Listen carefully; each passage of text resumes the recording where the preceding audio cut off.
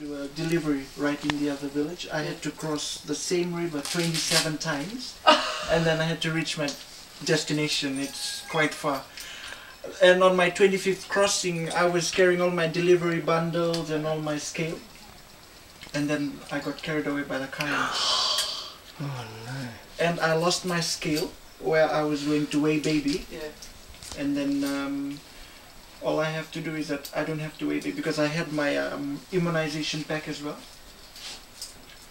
So thing is, it's pretty challenging here, but you know you have to because we took an oath for this. It's my interest. So Wow.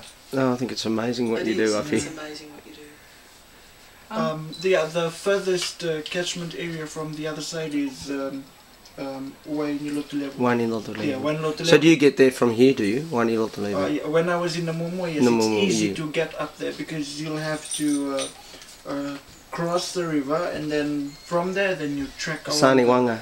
Yeah, Sauniwanga, yeah, Yeah. that one. And then from there, we walk up about two to three hours on foot, if not, horseback.